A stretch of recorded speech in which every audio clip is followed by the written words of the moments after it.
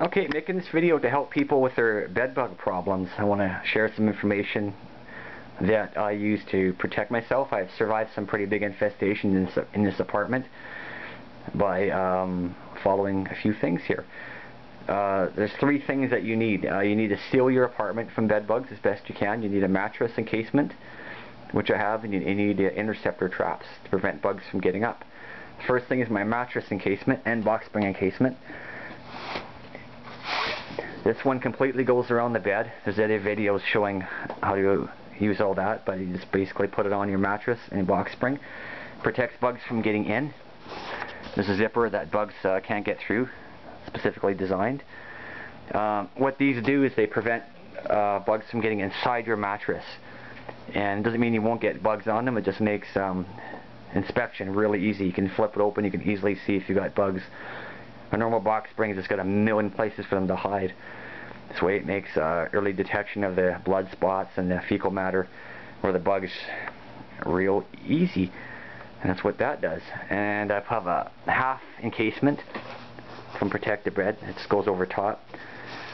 What that does is protects the, uh, the encasement because you don't want to take your encasement off ever. That way I can just wash this when I need to. And it's just a half encasement. It's for dust mites as well. Then I just have a mattress, cotton mattress pad on here on top. So further protection from it because you don't want to take your encasements off ever. Um, to make that work, you can't have nothing hanging down. So no skirts, no sheets, nothing can be hanging down or bugs will hit you right up. You have to have your bed pulled from the wall, like I've done so here. Pull your bed from the wall, Make sure your pillows aren't touching. And you're never going to be perfect. Accidentally, when you're sleeping, things will touch. When I roll around in my sleep, sometimes have the sheets on the floor, but um, in a really bad active infestation, I wouldn't even use any sheets. I would just lay on top of them. I wouldn't even use any. I don't have an active infestation now, but I try to prevent that sheets from touching the ground. You can't let anything go on the bed. Your bed must be a sanctuary. Um, no putting books or anything else from an unprotected area can go onto your bed. You can't put clothing. You can't sit on the bed or lay on the bed uh, if you were sitting on an area that's not protected because your bed must be a sanctuary because uh, bugs really reproduce a lot faster when they have access to your blood. and You don't want them in your bed. Okay, that's it for mattress encasements. There's lots of videos about those. Uh, the next thing you want to have is interceptor traps. These are interceptor traps. You want to have them on all the legs of your bed, just like so like I've done and I put my bed on blocks of wood to get it even higher. And the casters go in in there. This video is showing how to use these. Pretty much easy. You just use talcum powder coat it and the bugs climb up here and they get trapped in the wells right there. What I've done here is I put an extra cup in the middle to give it extra layer of insurance so there's no way they're going to climb up what I did is I coated this all with baby powder like you're supposed to and I coated the plastic with baby powder, the legs go in there so the bugs would have a lot of climbing to do. So they would never basically be able to get up to my bed. So that's what I do to protect my bed. You can also make homemade traps. There's other videos showing how to do that. Just uh, use uh, plastic right there and just coat the uh, coat them with baby powder. I'll make another video on that. next thing you want to do is protect uh, your dresser and your clothing. You don't want them on your clothing. So what I did there, here's my dresser. I get a plywood, sheet of plywood underneath, and I cut it and I put casters underneath it. Screwed some casters on. And I, again, I have the interceptor trap there, protecting my dresser. The wood's there just so it doesn't uh, dig into the carpet and break the trap. The dresser is pulled back from the wall so nothing is touching. Um, basically, I don't want to hang any clothing, so I put my extra clothing in these plastic bins on top of here. And that's what I've done to protect my clothing. Uh, the next thing you want to do is protect your couch the same way. Uh, I have interceptor traps. I pulled this out. I'm changing my interceptor traps. I'm going to clean them out. Should do that once a month or so. But the interceptor traps go under the legs of my bed. And I put them on uh, pieces of wood like that. The couch can't be touching the wall. Make sure nothing's touching. Again, make sure you're not sitting um, an unprotected area and then go sitting on your couch. Unprotected thing would be like my kitchen chair there. That is not protected, so I'd make sure I'm changing my clothes to want to come and sit on my couch. And here's the interceptor traps on my uh, my chair. so they can't climb up to my chair. Nothing's hanging down. So it's going to remain bed bug free. When I do laundry, I put it basically until I'm ready to fold it, as the laundry earlier, I throw it on my couch, which is protected. So there's going to be no bed bugs getting on to my laundry, as long as my couch is uh, bed bug free. Okay, that's what I do to protect my couch, my laundry, and my bed.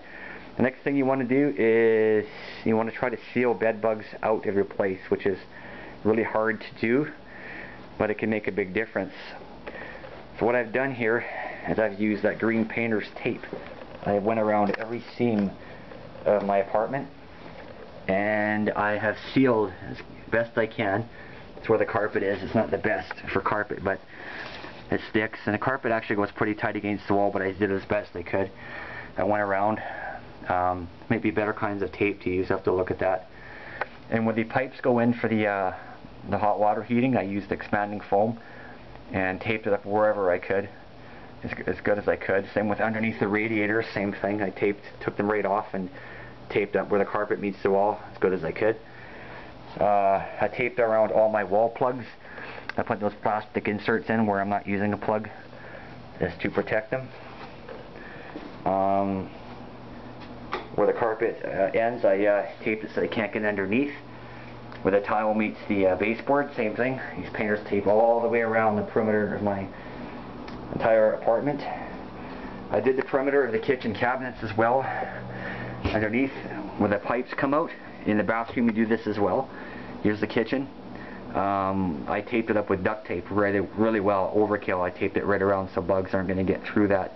However, where this um, where this ki kitchen counters go into the wall, it is not sealed. When they renovated, I don't think they did that when they put the kitchen counters in. So it's not sealed there, and there's nothing I can really do about that. Even though it's sealed here, they can still come up through the back and work their way. But I still sealed off as many places as I could. I pulled the fridge out and the stove out I did behind there, sealed the wall there. I was able to seal that 100%. These expanding foam with the, uh, the 220 uh, plugs come in. And again, it's sealed right around. The entire perimeter of my place is completely done in that stuff.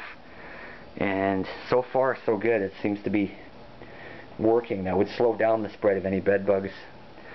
Um, for sure. You could use uh, caulking, but uh, I don't think my landlord would want me using caulking. It would be a better idea, more permanent.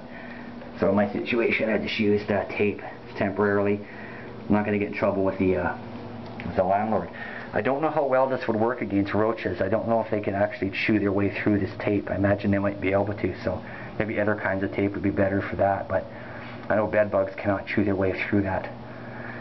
So um, one other thing I'm going to show you is where the door goes into the hallway.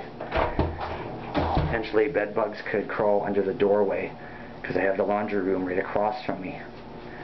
So what I do once a month is I spray this residual uh, permethrin, residual a bug killer rated for bed bugs as well. Spray that there once a month and hopefully that kills anything that crosses it but I try not to use this anywhere else in my place. Um, I have used the diatomaceous earth but I try not to because it's very bad to inhale that stuff and it's almost impossible not to so I, I don't want to use that stuff anymore. That's supposed to be inside the wall voids and stuff only. But even when applying it there you're going to put a dust of it into air and that's very bad for you.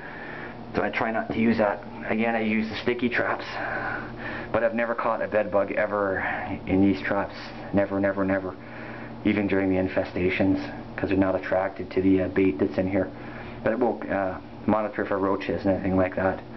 So it's still good to have. Um, other than that, I would recommend you definitely get your encasement and uh, use your protective bed mattress encasement. Here's the interceptor traps. You can make your own. I'll show you how I did that briefly.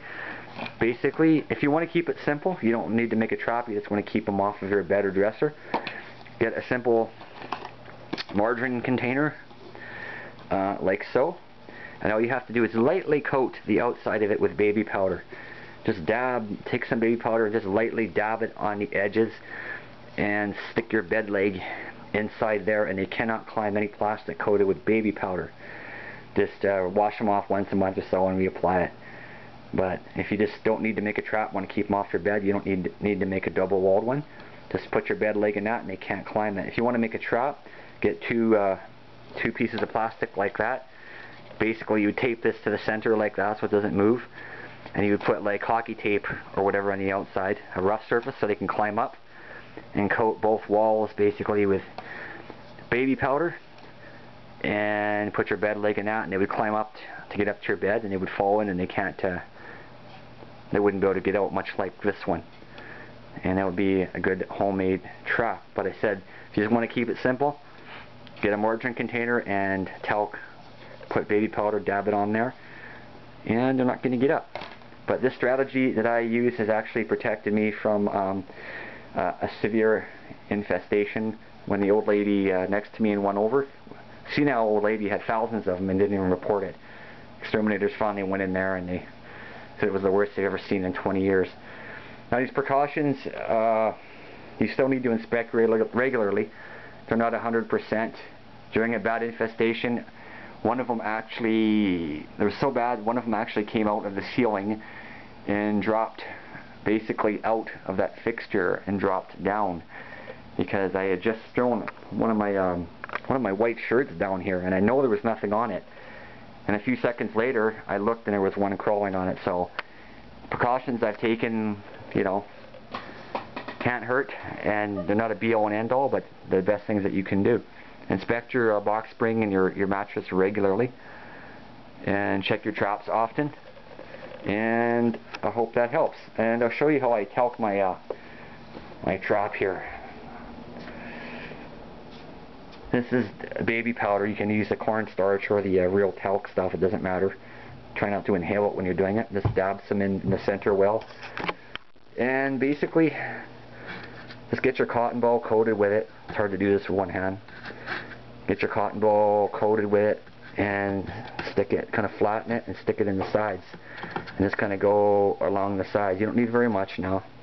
Just want a little dusting of it right along the sides like so you know go around. Doesn't matter if you get any in the middle or not. And the bugs can't climb up. Try not to get any in the outside because then uh, you want them to actually climb up these. Same with your, um, if you're making a homemade trap here. This video is getting long, I'll end it soon. If you're making your homemade trap, if you want to keep it simple, just use a margarine container or something from the dollar store and just lightly dab it on the outside. You don't even have, that's all you have to do and you're not going to be able to climb up that. I've tried that with ants and they can't climb. Plain plastic we can. So I hope these uh, trips help you, tips from, help you remain bed bug free and uh, sleep tight and don't let the bed bugs bite. Like I say, don't let nothing hang down or you will get a free ride up. You're never going to be perfect. You roll around in your sleep and they touch sometimes.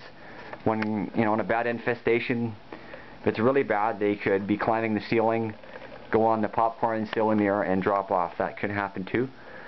But that's why you're going to inspect your uh, your encasement regularly. Hope these uh, tips help.